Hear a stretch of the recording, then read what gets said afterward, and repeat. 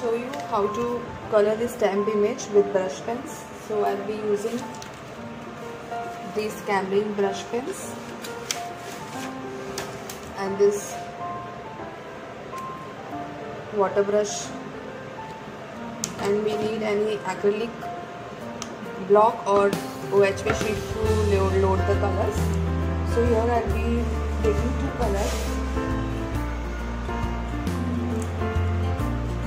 there is light purple and dark purple.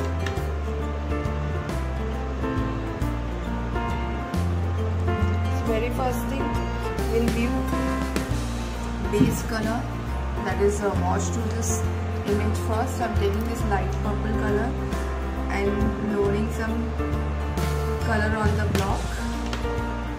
Slightly dip the tip of the brush pen color this way. You need more water in this. So take more water and color it in a circular manner like this to avoid patches.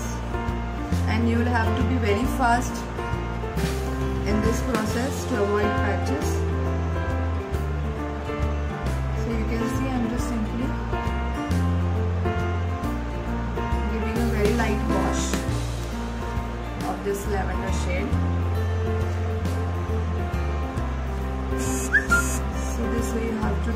base coat on this image. So I'll finish this and get back.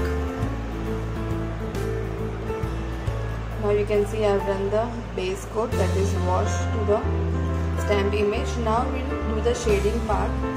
So for shading you need same dark purple color but take some color and take some pigment on your brush and just color the edges this way only the edges.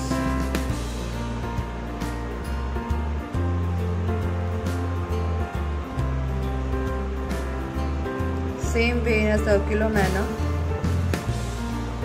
You can see the shading. Just take the dark color only on the edges this way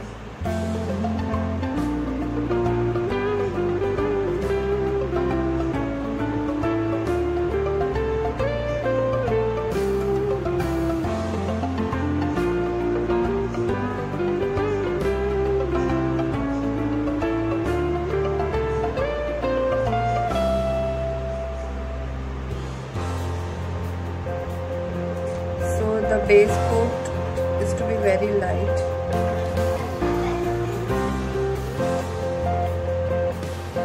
So this way you have to give the shading to the flower and to merge this patch again you will take light color which you have used for the base.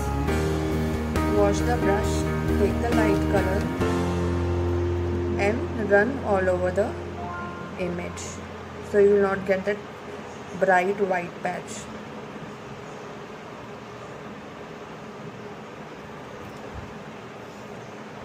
This way. So I'll finish with the rest and get back. Now you can see I've done with the shading of this flower